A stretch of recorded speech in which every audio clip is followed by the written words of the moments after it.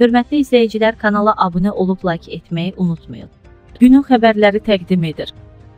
Dayaz Xəzər xəbərə istinadən xəbər verir ki, Ümumdünya Səhiyyə Təşkilatının Qambiyada uşaq ölümlərinin Hindistanda istehsal olunan öskürək və soyuqdəymə siropları ilə əlaqəli ola biləcəyini dedikdən sonra Hindistan səlahiyyətliləri hərəkətə keçib.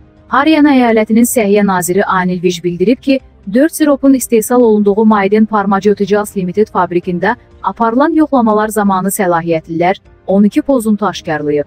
Vij sözü gedən fabrikin fəaliyyətinin dayandırıldığını açıqlayıb. Maiden Pharmaceuticals Limited şirkətinin direktoru Narish Kumar Goyal mövzu ilə bağlı açıqlama verməkdən imtina edib. Qambiyada 69 uşağın Hindistan parasetamol siropundan istifadə etdikdən 3-5 gün sonra öldüyü iddia edilib.